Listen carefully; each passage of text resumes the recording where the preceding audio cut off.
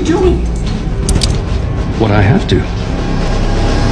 Back up. I'm closing this door. And what about the rest of us? If she's right about the nuke, then this is ground zero. Won't be safe to go outside for weeks. We don't have the supplies in here for all of you. So you're gonna kill a cop and all these others just to save yourselves and the rest of you? You're all good with that? I'm not going to tell you again. Back up so I can close this door. Okay. Okay, fine. You win. I give up. Pretty cool, right? Tell me that at the academy. Come on. You're making a big mistake. And you're under arrest. Sit down right there. Get cozy. Here we go. Come in. Hands.